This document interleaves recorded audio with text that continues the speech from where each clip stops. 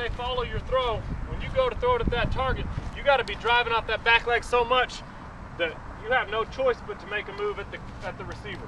Right? When I talk about either drag that toe or let it come follow, don't get stuck on that front foot like a pole vaulter that has to come back down where he started. Make sure when you throw the ball, your momentum is going at that target, and that shows me you got all the way through the throw.